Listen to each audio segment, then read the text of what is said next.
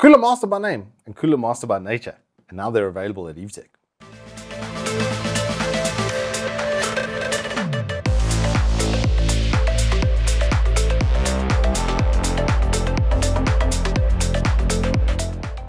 Good afternoon, welcome to Turbo Tortoise Tech. If you're new here, I'm Reese of the 4-piece Ryan G Walker Triple XL. We have the Cooler Master stuff. And I was not expecting this kind of performance from a 240mm rad. Also, I have done the microcode update to the 13600K, so it's made things a bit different. I'm gonna have to redo every single test that I've ever done with this thing. My whole baseline system has been thrown out completely because the differences are wild. But it still produces quite a lot of heat. So it's still actually a really good CPU for what we want to do with it. And uh, with a full microcode update though, this Cooler Master 240L ARGB core edition of the Master Liquid series what a mouthful. But um, yeah, at least you won't get confused between model numbers too easily because uh, they're longer than my future um, by the looks of things. And uh, you won't be confounded by the performance as much as I was. This has a 2600 RPM pump. I thought, oh man, this is going to be an oof out the gate for Cooler Master. It made me kind of sad because I haven't been able to do a review on their product on the channel for a very long time. I've always had a soft spot for the brand. I, yes, I've had a Cooler Master Enforcer way back when. Um, always loved their cases. They're a little bit different, right? And um, with their water coolers as well, I got the first edition of this and it was really good. And then now this one is really good. So it's it's kind of unreal. Anyway, let's go through what's in the box. So inside of this nice bit of packaging over here, You've got all of the furnishings and fittings you might need. There's two backplates for Intel, and then for AMD, it uses the existing mount, the existing one that will come with your motherboard and has actually a really, really easy attachment type of style, which most of the brands are doing for AM4 and AM5 stuff. So uh, I'm pretty happy with it. It's based on the normal clip system, um, but then, yeah, the pump head on this is absolutely fantastic. It is really plain and simply finished, but the actual faceplate of it is pretty well polished. I've got to say, it's actually quite, quite uh, nicely lapped over there. The fans have got full rubberizing in all the corners, which we love to see, and they're typical, just generally good Cooler Master quality. Quite light, I've got to say overall. The finish on this rad is absolutely fantastic as well. It's got like a um, sandblasted kind of paint scheme on it. Uh, it feels uber premium as well. looks quite nice too. So yeah, we we we like that. We like that quite a lot. Do, doing good stuff with the product finish at at least. They've still got a normal fan system where you get a, a two split uh, PWM header for the fan connector, and then you've got a three into one daisy chain system for the uh, RGB. It does come with little clips to hold them in place, but the force on them was so good and so positive, I don't even think you really need to use it, to be quite honest with you.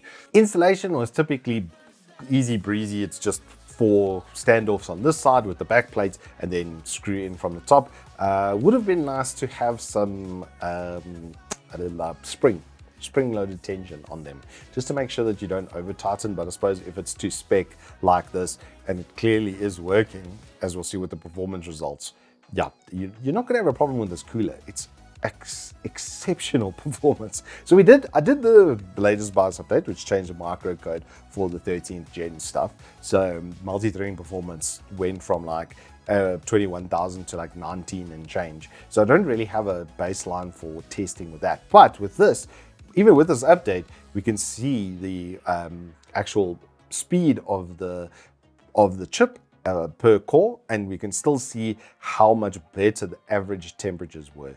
And it is day and night. This thing absolutely annihilated the H100. I didn't expect it to be that much better. I restarted it and ran the test again just to make sure because I thought maybe there was some sort of performance offset or something from the one to the other, but it's just clear based on the performance results. Like you're going to get a faster core clock per thing, like three, 400 megahertz per core um, comparative at a much better temperature. And so the RPM on the pump is not always the be all and end all. They've kept their dual chamber design. They've just neatened it up. So where these tubes actually come out of the side of the pump over here, the one is higher than the than the other, um, and that's because it's a dual chamber type of pump. So it's got even though it's got lower RPM, it doesn't really matter because it's is definitely moving more water. Even on the 100% fan test, there wasn't a huge difference between that and this at 50%. The fans can get a little bit rowdy. At 25%, like 800-ish RPM, you're not really going to hear them. At 50%, things start to get a little bit more, uh, more audible, but still very quiet. 75% is where things start to get a little bit rowdy and you are going to have some uh, noise from the fans, and then 100%, it's going to be quite obvious. These things hit 1,800 RPM quite casually. So very good included fan kit as well. But the fact with water cooling is you don't, you never should need all of the fan curve because the actual pump's performance is going to affect the overall cooling performance the most. Because if AIOs and well, all water cooling systems as they run, they get to a thermal efficiency point for the whole loop. There's hotspots and stuff throughout, but the water temperature averages over time like that. AIDA is also a very synthetic workload. It's even it's even a little bit harsher on the CPU than a rendering workload, which leaves a bit of space for windows and stuff to run. AIDA doesn't do that. AIDA takes the whole CPU and drops its elbow in its face. And like I said, when I did Cinebench testing, things were really out of whack. I've got to create a new baseline for that. But just off the AIDA results, you can see how well this thing performed. It's absolutely incredible. Good job, Cooler Master. I'm so happy to report this. I believe they give a three-year warranty on this sucker, and it's a 1,400 rand. And available on Uncle Evetech. Finally, we have some really competitive pretty nice looking as well, albeit a little bit understated on the faceplate, but maybe sometimes that's what you want. der8auer actually saw a video from Gamescom with him and uh, Ace, uh, or Uncle Aces, where he was saying he's, RGB is a red flag. I agree with you, sir. DRGB the world. If you want the RGB on, it's got it. The diffusing is pretty good. The fans, fantastic. Uh, you don't need all of that RPM, but they've got plenty of headroom um, in case maybe your case has got a suffering a little bit with airflow uh, or something like that. But I would just install it up top. As you can see from the test bench setup, we built this bracket so that the high point would be furthest away from the cooler. And you can actually hear it when you connect all the air going out of it. So I waited for that point on both coolers, did the test, and it was just an absolute bully beat down. Anywho, that's all I've got for you on this 240L. I flip and dig it. That's a classic, straightforward, Cooler Master good time. If you have enjoyed this review, please hit us up with a like and subscribe, and I will see you on the flip side.